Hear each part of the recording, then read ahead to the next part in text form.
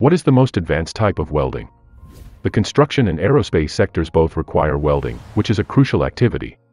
But it might be challenging to determine which sort of welding is the most advanced given the wide variety of options available.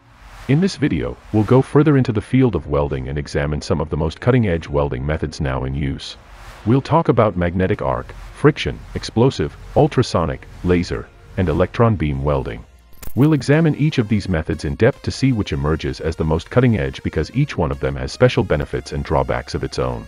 Therefore, you won't want to miss this video if you're interested in the welding industry and want to learn more about the most advanced welding techniques available. Let's get started. Welding with a magnetic arc comes first.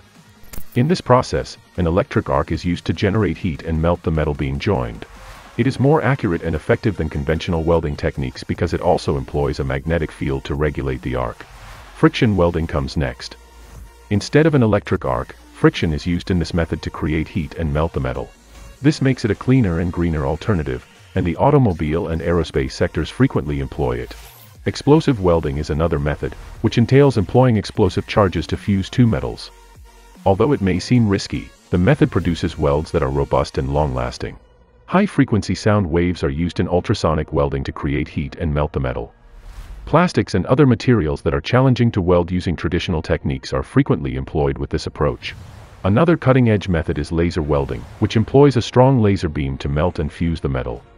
It may be used to weld even the thinnest of materials and is highly accurate. The last method is electron beam welding, which melts the metal by producing heat using a concentrated stream of electrons. In the aerospace sector and for welding high-temperature metals, this method is frequently employed.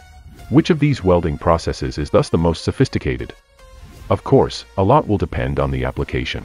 The most suitable method will depend on the materials being welded and the particular requirements of the project. Each of these procedures has certain benefits and drawbacks of its own. But one thing is sure, with all these cutting-edge welding processes at our disposal, the possibilities for what may be constructed are limitless. We hope you enjoyed seeing the video and learned more about the most cutting-edge welding techniques. Give this video a like and share it with your friends if you like it. They might also find it fascinating. And if you haven't already, please subscribe to our channel to keep up with the most recent developments in welding and other fascinating topics.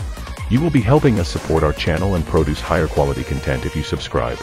We appreciate your time and we'll see you in a future video.